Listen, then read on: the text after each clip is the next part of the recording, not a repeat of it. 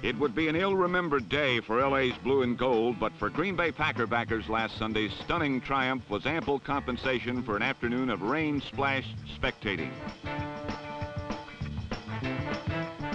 But the rain had an altogether different impact on John Hadl's passing game as he could produce but 59 yards and one field goal against the Elements and the Packers.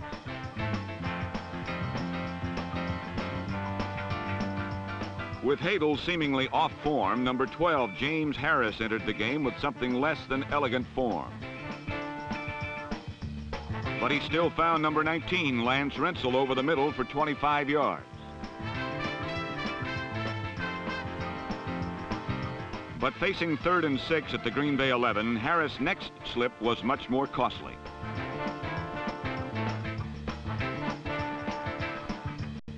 Although ruled an incomplete pass, the Rams settled for a field goal, which gave them just six points for the afternoon. With a combination of steady coverage and inspired rush, the Packers continually snuffed out the Rams' offensive flame.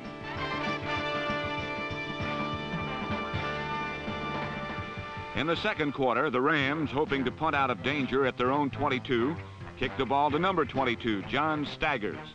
68 yards later, it was 7 to 3 Green Bay.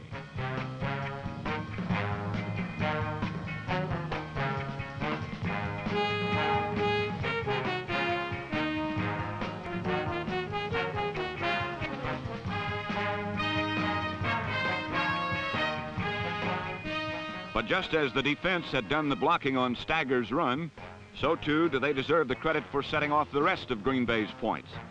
As in the third period when number 28, Willie Buchanan's interception soon made it 10-3 Packers.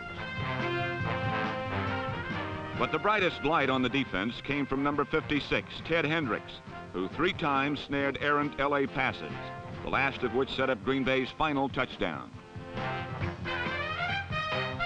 With the score standing at 10 to 6, the Packers had the ball at the LA 19 thanks to Mr. Hendricks. And then John Brockington started to do his thing.